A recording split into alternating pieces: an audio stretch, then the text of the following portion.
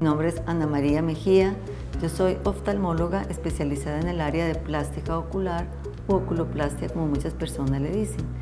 ¿Qué es esta área? Esta área es el área que se encarga del manejo de los párpados, la vía lagrimal y la órbita, que son las estructuras donde está contenido el, ojo, el globo ocular, y que se encargan de protegerlo para eh, facilitar también su función. Eh, ¿Por qué son importantes? Porque los párpados, al proteger los ojos, al abrir y cerrar, además de que le permiten una buena lubricación, le permite también como abrir la vista, abrir la visión al mundo.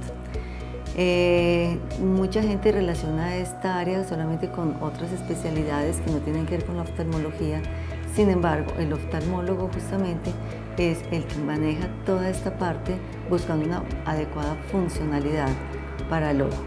No solamente se busca la parte estética, que también es muy importante porque es la apariencia física, es nuestra carta de presentación, la cara, los párpados, los ojos son nuestra carta, de presentación frente a las personas, pero también aquí es muy importante la, la parte funcional. Entonces es una adecuada combinación de las dos partes. Aquí podemos encontrar una gran cantidad de alteraciones.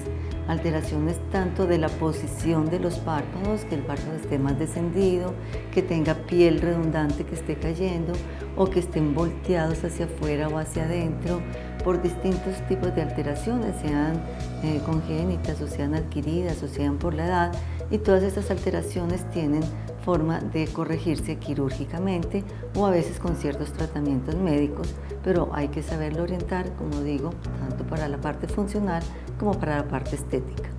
También hay alteraciones de la vía lagrimal, que son eh, eh, de pronto alguna obstrucción de la misma vía lagrimal, lo que va a generar que el ojo esté lagrimando constantemente y eh, puede también llevar a infecciones.